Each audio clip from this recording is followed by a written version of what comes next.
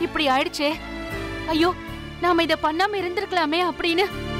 எத்தனை தடவை யோசிச்சாலும் செஞ்ச தப்பு எதையுமே திருத்தவே முடியாது. முடியாது. இன்னைக்கு ஏதோ இந்த பிரச்சனையில இருந்து தப்பிச்சிட்ட இனியா. ஆனா தப்பிக்கலனா என்ன ஆயிருக்கும்? காலேஜ்ல டிசி கொடுத்திருப்பாங்க. நீ சொல்லு இனியா எவ்வளவு ஆசைப்பட்டு நீ விஸ்காம்ல சேர்ந்த? அதுக்காக தானே நான் இவ்ளோ போராடினேன்?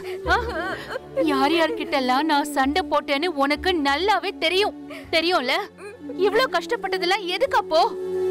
சீட்டு கட்டு மாதிரி. ஒரே ராத்திரியில எல்லாம் சரிஞ்சு போறதுக்காமா? உனக்கு நான் சொல்றது புரியுதா? சாரிம்மா நான் போயிருக்க கூடாது. என்னோட தப்பு தான் எல்லாரும் கூப்பிட்டதும். போதும் இனியா. போதும்.